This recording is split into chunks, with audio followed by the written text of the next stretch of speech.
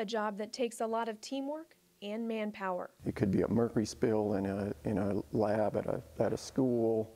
Um, it might be just something small like a uh, diesel fuel cleanup. Whatever the task, Ottumwa firefighters are ready to respond. The department conducts trainings once a week, teaching themselves hazmat operations and passing those skills on to firefighters in neighboring counties. When a toxic or flammable chemical spills, it's their job to clean it up. They're usually a major uh, call, major incident.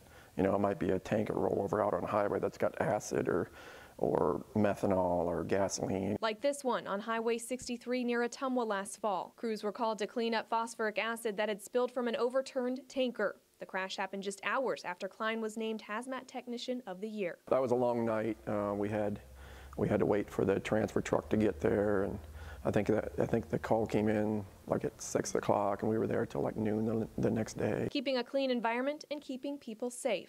That's one thing we've learned in hazmat is you got to kind of slow down and and really um, think through it, or you know you don't. The last thing you want to do is get people hurt. In Ottumwa, Beth Walden, KTVO News.